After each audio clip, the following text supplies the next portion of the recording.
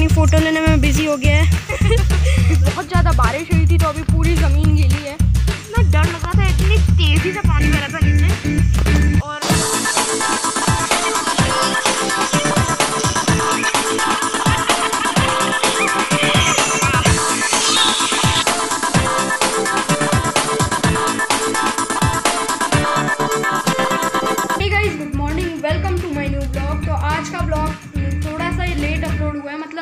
10 minutes 20 minutes late हो गया था। आज बहुत तेज़ बारिश होना चालू हो गई है। छींटें धीरे धीरे पड़ रही हैं और धीरे धीरे चालू हो रही है। तो हम आ चुके हैं छत पे तो देखते हैं यहाँ पे बारिश हो रही है वैसे तो।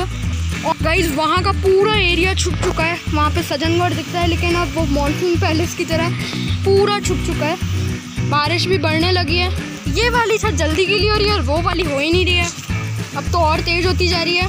ये कल के कुछ स्लीपर्स पड़े हुए हैं जो हम छोड़ के चले गए थे क्योंकि छत पे बंदर आ गए थे। गाइज़ अभी टाइम हो रहा है टेन ओ क्लॉक और आज ज़्यादा ब्लॉग नहीं कर पाया। गाइज़ 155 सब्सक्राइबर्स हो गए हैं। थैंक यू सो मच आप आगे भी सब्सक्राइबर्स बढ़ाते रहिए। मतलब वीडियो तो देख लेते हैं, लेकिन लाइक शेयर और सब्सक्राइब करना तो भूल ही जाते हैं। और कमेंट करना भी।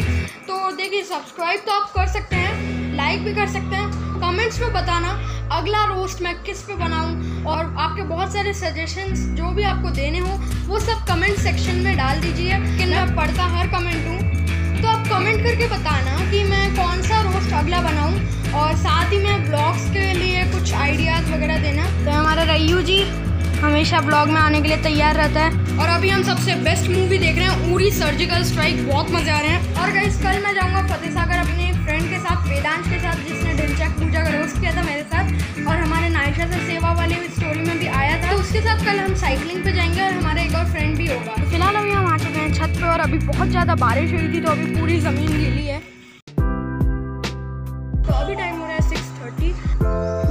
बहुत ही अच्छी धूप निकल चुकी है और आज हम जाएँगे साइकिलिंग मेरा फ्रेंड है वेदांश उसके साथ साइकिलिंग जाएँगे। हाय फ्रेंड्स हम खड़े मेरे घर के बाहर और मैं वेदांशु हम आपको पता नहीं चल रहा होगा। और हम जाने वाले सुबह early morning Fateh Sagar cycling के लिए। तो लेट्स गो अभी हम हैं on the way to Fateh Sagar पीछे रह गया पूरा। पीछे रह गया। तो क्यों आगे जा। रहा है अब हम आपको मिलते हैं सीधा फतेह सागर में। तो गाइज़ हम आ चुके हैं फतेह सागर और ये है एक पार्क में जहाँ पे वॉक करते हैं। ये हमारा फ्रेंड वेदांश जी, जो हमारे दोस्त में भी आया है। तो वहाँ सामने है फतेह सागर लेकिन आज हमारे साथ कुछ ऐसा हुआ जिसकी हमें उम्मीद नहीं थी। ये हमारी दोस्त मैना जी यहाँ पे घूम रही है। हेलो मैना जी। तो यहाँ पे सनराइज हो चुका है, जैसा कि मैंने सुबह दिखाया था। और यहाँ पे है बहुत ही सुंदर माउंटेन और आगे जाकर मोटी मगरी भी है। और इस वाले माउंटेन से वाटरफॉल भी होती है, लेकिन अभी नहीं हो रही है। तो गाइज़ अभी हम पाल पे बैठे हुए हैं और बहुत ही सुंदर हो रहा है। यहाँ पे हम बैठे हुए हैं वेदांश के साथ। तो गाइज़ वहाँ सामने हमारा सजनगढ़, जो हमेशा हमारे घर से दिखता है, लेकिन आज सामने है और बहुत ही सुंदर मौसम हो रहा है। ये है फतेह सागर का डैम और अभी पानी तो नहीं बह रहा है। पूरी एलगी जमी हुई है यहाँ पे। ये है पूरा डैम और वेदांश अपना एक्सपीरियंस बताएगा कि वेदांश ने जब ये डैम खोला था तो कैसा लगा था उसे जब मैं डैम के था तो मतलब मेरे पापा ने इस डैम का गेट खोला था। तो मतलब इसी ब्रिज पे खड़े हुए थे जो ये डैम के ऊपर है तो ना जैसे मैं भी खड़ा हुआ था तो इतना डर लग रहा था इतनी तेज़ी से पानी बह रहा था नीचे और मतलब एकदम ऐसा लग रहा था कि पैर तले धरती के सब जाएगी एकदम इतना तेज जैसे केदारनाथ में होता है ना एकदम उस तरीके का एक्सपीरियंस आ रहा था अरे वाह मैं इस पर कभी खड़ा नहीं हुआ हूँ लेकिन इतना सा खुलता है ये डैम तो बहुत सारा पानी निकलता है यूजुअली और तो अभी हम आ चुके हैं ढलान वाले रास्ते पे पूरे जंगल का रास्ता है और इधर से पूरा डैम का पानी निकलता है जैसा कि मैंने आपको बताया था और यहाँ पे जंगल है पूरा। वेदांश अपनी फ़ोटो लेने में बिज़ी हो गया है।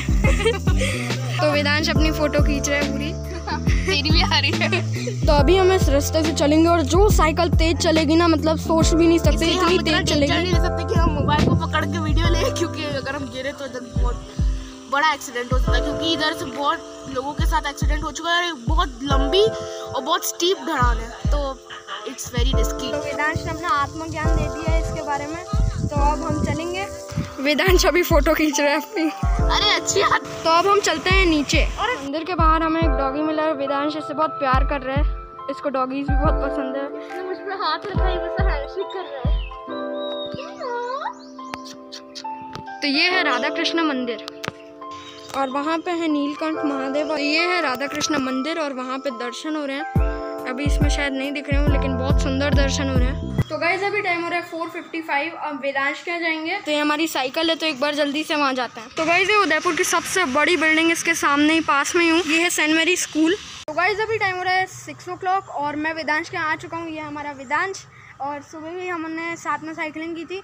अभी मैं इसके घर आया हुआ हूँ और अभी हम पीछे वाले गार्डन में बहुत ही सुंदर गार्डन है। तो यहाँ पे एक बहुत ही बड़ा पीपल का पेड़ है और बहुत सुंदर लग रहा है और यहाँ पे पूरा सुंदर सा गार्डन तो अभी वेदांश हमें चीकू और सारे पेड़ों के बारे में बता रहा है। तो ये कुछ चीकू उगे हुए हैं। वाह बहुत सुंदर है। तो ये है मैंगो का ट्री और यहाँ पे मैंगो पता नहीं मुझे दिख नहीं रहा कहीं। वो राधे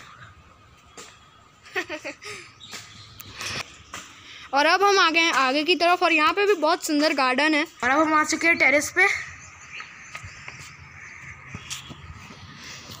यहाँ पर आगे फॉरेस्ट है इधर पाम ट्री है और उधर उदयपुर की सबसे ऊँची बिल्डिंग है। तो गाइस कमेंट्स में बताना कि ये जो पीपल का पेड़ सामने दिख रहा है इसकी शेप पूरी पीपल की पत्ती जैसी है या नहीं? आप कमेंट्स में बताना हमें तो बिल्कुल लग रही है। नेचुरल इसकी कटिंग ही कुछ इस तरीके से है कि एकदम ये पीपल की पत्ती का जैसा लगता है।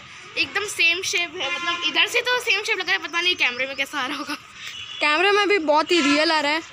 इसके पीछे है उदयपुर की सबसे ऊँची बिल्डिंग जैसा कि आप जानते हैं। हमारे घर तो से तो छोटी दिखती है, तो तो- भाई अभी टाइम हो रहा है सेवन थर्टी और अभी हम साइकिलिंग करेंगे। फिर थोड़ी देर बाद मम्मा पापा भी आ जाएँगे तो घर भी चलेंगे। तो भाई वेदांश भी आ चुका है। अब हम लोग साइकिलिंग करेंगे।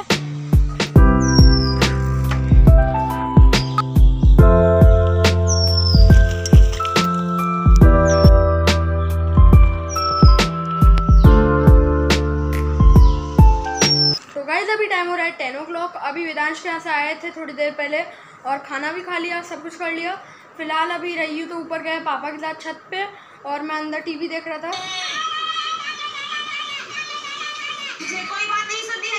तो फ़िलहाल अभी हम सिंचन देख रहे थे रयू तो ऊपर चला गया और रयू कभी भी सुनना नहीं चाहता इनका भाषण। रयू भी कभी कभी इनको देख के डर जाता है कि कैसे चिल्लाती हैं। तो इस ब्लॉग को मैं यहीं पे एंड करता हूँ। तो लाइक शेयर सब्सक्राइब करना बिल्कुल मत भूलना। Thank you so much for watching bye